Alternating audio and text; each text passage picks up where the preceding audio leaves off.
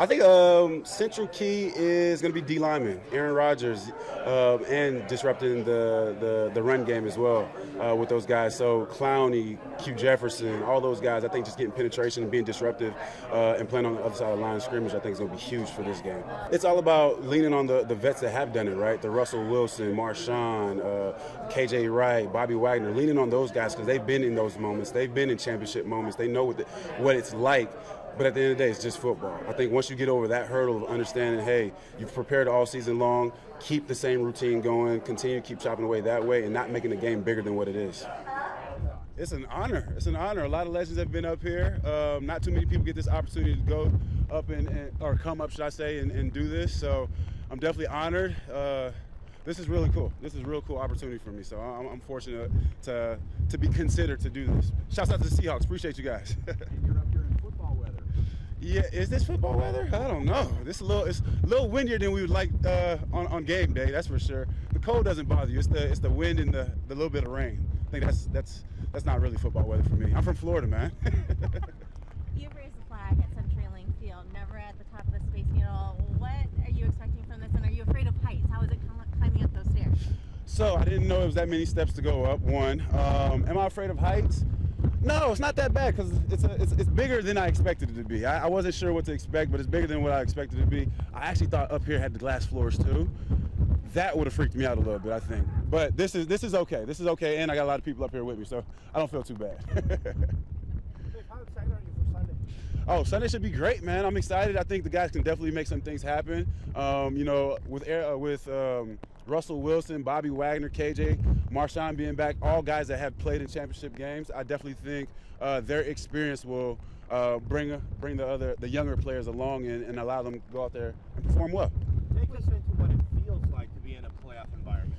Oh, it's it. I mean, you know, most of my playoff environments have been at home here in Seattle, but uh, but no, it's it's it's a different ball game from the standpoint of obviously, you know, if you don't play well, you go home.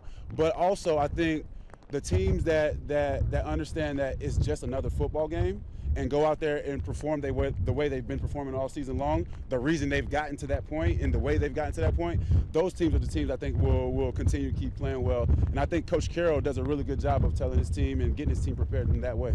Now you've played in a very cold playoff game. Like Ooh, Minnesota was bone chilling cold, not as cold as it'll be in Green Bay this weekend, but how do players like mentally prepare for those cold temperatures and just the elements that they'll be facing? Uh, sometimes, you know what, you really can't prepare for it. You can't mimic it. You know, a lot of times coaches try to uh, open up the, the, the, facility to let all the cold air in to kind of replicate what they're going to feel. But on game day, it's completely different. You know, it's going to be a little colder, but it's all about just preparing, again, mentally. If you mentally are prepared uh, and don't necessarily care what the weather elements are, you'll, out, you'll be able to go out there and perform. But really, it's the first hit. Once you get that first hit, you shake it off. Okay, now we're just playing football. But you know, prepping in the cold can, can sometimes be be a little harder.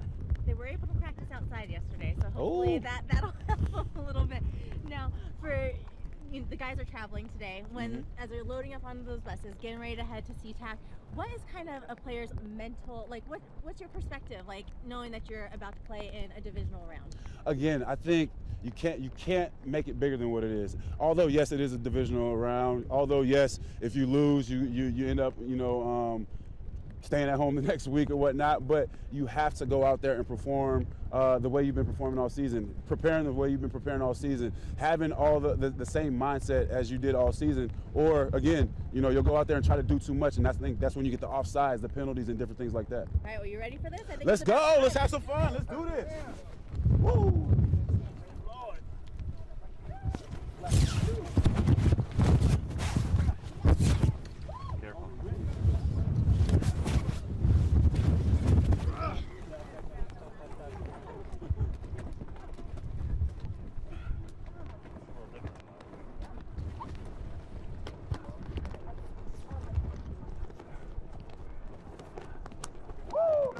Workout, baby. That was good. Woo, that was a workout. Let's go. How you feel? That's great. I mean, one, you don't realize how big that flag is. The wind didn't help uh, as far as taking it up, but that was fun. It was.